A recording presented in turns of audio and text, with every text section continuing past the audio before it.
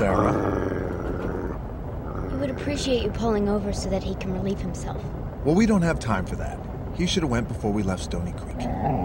He isn't pleased with your attitude.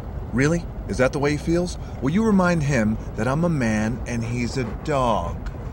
And I'm not about to have this or any conversation with a dog. So my answer is still no.